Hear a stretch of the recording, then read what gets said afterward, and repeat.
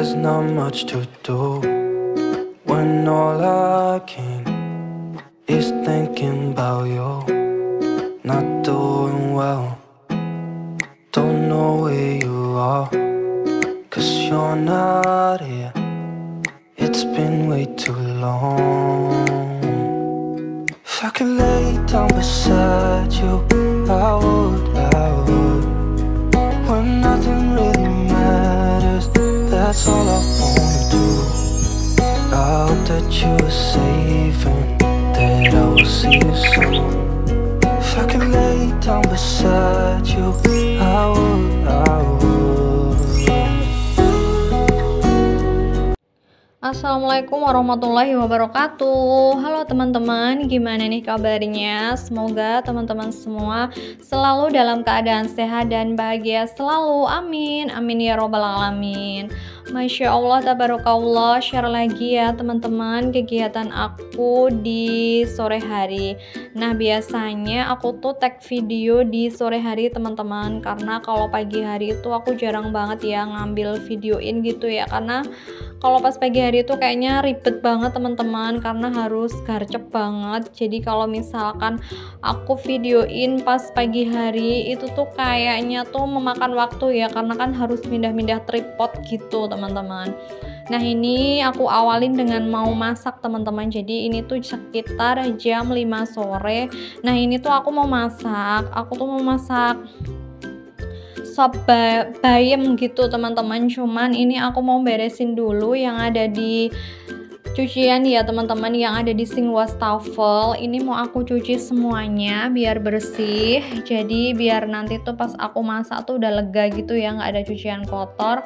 Karena nanti tuh kalau waktu udah selesai masak pasti tuh cucian kotor tuh ada lagi teman-teman. Jadi yang di sink wastafel tadi aku beresin dulu nah aku tuh masih punya sisaan tempe sama ayam yang tadi pagi aku ungkap tuh masih ada teman-teman. Jadi di sore harinya ini mau aku masak aja Nah ini aku masak sayur sop bayam, aku pakai bawang putih, bawang merah itu secukupnya aja.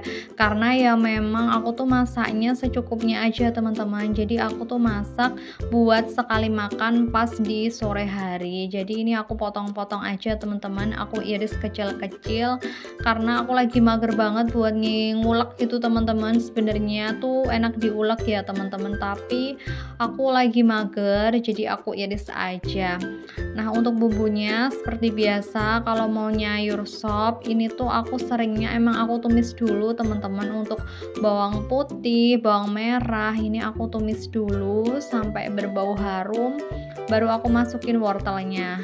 Jadi wortelnya itu juga aku ikut tumis teman-teman. Nah ini aku masukin aja air kurang lebih itu 700 ml nah aku juga pakai jagung manis dua potong aja ya karena kan ini yang makan kan cuman aku sama si suami ya dan ini aku pakai bayam ini satu ikat itu aku masak tiga kali teman-teman. Jadi ini aku secukupnya aja aku cuci. Satu mangkok gini ya pokoknya secukupnya sedikit aja karena memang aku tuh mau masaknya tuh cuma sedikit aja teman-teman. Jadi sekali makan langsung habis. Nah ini aku cuci dulu selama tiga kali aku buang biar kotoran debu-debu kayak tanah-tanahnya tuh hilang teman-teman. Jadi aku nyucinya memang tiga kali. Nah ini udah agak mendidih gitu ya. Tadi wortel sama jagung manisnya tuh aku nunggu empuk dulu ya. Karena kalau wortel itu kan matangnya tuh lama gitu ya teman-teman. Nah aku tambahin aja bumbu racik sop sama aku tambahin nanti ini ada bawang eh kok bawang? Ada garam sama masako teman-teman. Nah ini aku pakai garam aja secukupnya. Terus aku pakai juga masako. Ini juga secukupnya banget teman-teman. Pokoknya biar gurih gitu teman-teman. Jadi rasanya biar gurih itu emang aku tambahin tadi bumbu racik. Nah untuk bayamnya aku masukin aja ya karena untuk jagung manisnya sama wortel itu tuh lumayan udah empuk gitu teman-teman. Jadi untuk bayamnya memang aku masukin aja di dijadiin satu gitu ya. Dan ini aku pakai teflon yang besar teman-teman. Dan ini singkat cerita aja ya. Ini tuh udah matang jadi ini aku tuangkan aja ke dalam mangkok. Cuman ini pas aku tag video ternyata tuh penerangannya kurang ya teman-teman. Nggak aku pencet untuk fokusnya jadi agak gelap gitu tadi Nah ini aku tambahin taburin aja untuk berambang goreng biar rasanya tuh lebih enak. Nah sekarang aku mau lanjut goreng tempe sama ayam, sisaan ayam yang tadi pagi aku ungkep tuh masih ada. Jadi ini mau aku goreng semuanya aja teman-teman. Dan ini kebetulan minyaknya tuh kayaknya belum panas banget teman-teman. Jadi nggak apa-apa ya. Nanti juga matang sendiri kok aku goreng semuanya aja daripada nggak enak gitu teman-teman. Soalnya kalau aku beli tempe tuh sekarang kok sehari gitu tuh pagi harinya gitu tuh rasanya udah berubah rasa gitu teman-teman. Jadi rasanya tuh agak semangit gitu teman-teman. Jadi ini aku goreng semuanya aja. Nah udah selesai goreng sekarang aku letakkan aja di piring ya piring yang warna kuning ini. Nah habis ini aku juga lanjut mau food prep sebentar teman-teman. Jadi tadi tuh aku habis makan. Setelah makan aku food prep. Tadi beli tempe juga karena stok tempe udah habis ya. Aku beli tempe sama beli gembus sama beli juga kacang panjang. Udah aku masukin ke dalam food container. Cuman pas tadi tuh udah aku videoin teman-teman. Cuman kok nggak kerekot ya? Kayaknya belum aku pencet jadi nggak kerekot pas aku lagi masukin kacang panjang panjangnya Nah, untuk tempenya aku masukin aja ke dalam food container jadi satu kayak gini. Dan ternyata ini nggak muat teman-teman. Jadi ini aku berdiriin aja kayak gini biar muat gitu. Dan ini tuh sebenarnya aku tag video tuh beberapa hari ya teman-teman. Jadi ini tuh video gabungan dari video beberapa hari. Jadi kostum aku tuh beda-beda teman-teman. Nggak apa-apa ya, aku jadiin satu dan ini aku juga mau ganti spray untuk spray yang di spray yang di kamar aku tuh udah buluk banget gitu teman-teman. Jadi biasanya tuh tiga hari tuh emang udah buluk banget. Jadi memang aku tuh mau ganti aja. Karena kalau misalkan aku gantinya nunggu seminggu tuh bener-bener aku udah nggak betah ya. Ini kan juga kena ompolannya anak aku.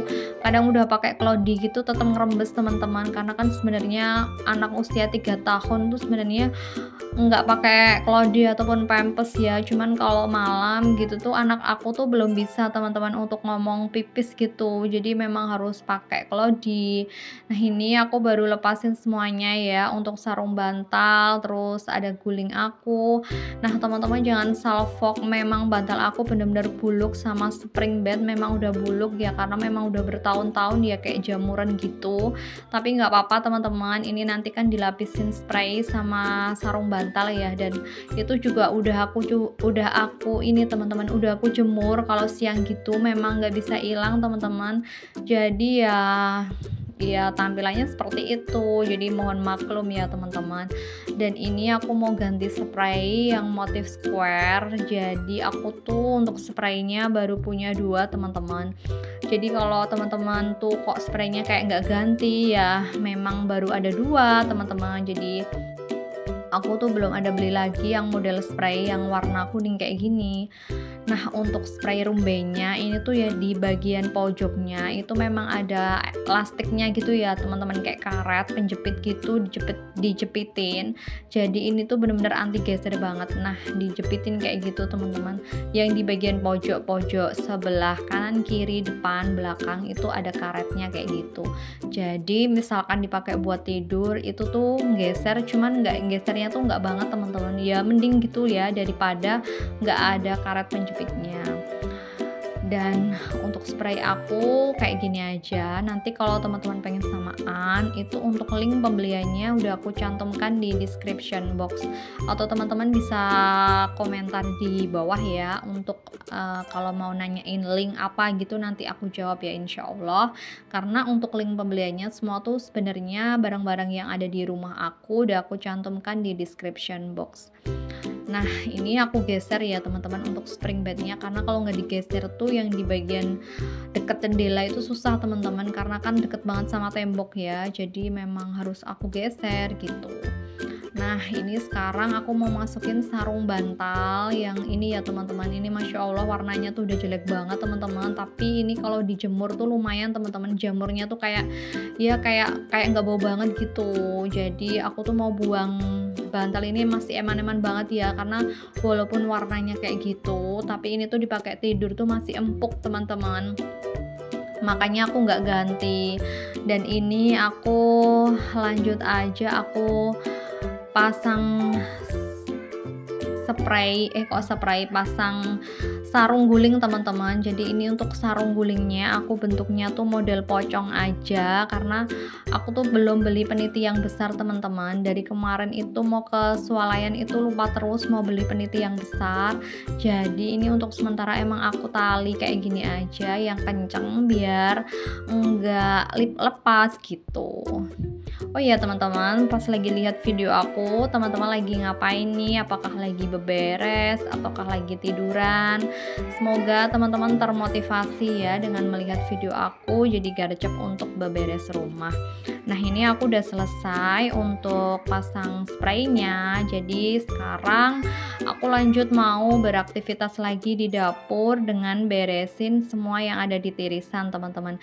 Jadi yang ada di tirisan yang udah kering ini aku masukin aja ke posnya masing-masing ya teman-teman biar di tirisan itu nggak ada kelihatan berantakan banget jadi aku taruh aku taruh di posnya masing-masing aja dan ini ada yang aku taruh di lemari ada juga yang aku taruh di kolong dapur.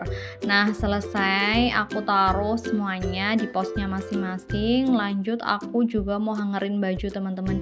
Jadi sebagian baju yang udah aku keringkan itu kan udah selesai ya. Jadi aku jemur aja di gantungan yang putih ini. Ini tuh di dalam rumah teman-teman. Jadi pagi harinya besok tuh aku keluarkan ya kalau ada trik matahari jadi biar cepat kering gitu teman-teman. Dan sepertinya videonya tuh udah mau berakhir ya teman-teman. Jadi untuk videonya aku akhirin aja. Dan terima kasih bagi teman-teman ya yang udah nonton video aku sampai di detik terakhir ya. Dan teman-teman jangan lupa ya untuk nonton video aku selanjutnya. Dan jangan lupa subscribe dan nyalakan lonceng notifikasinya ya teman-teman agar teman-teman gak ketinggalan ketika aku upload video terbaru. Bye assalamualaikum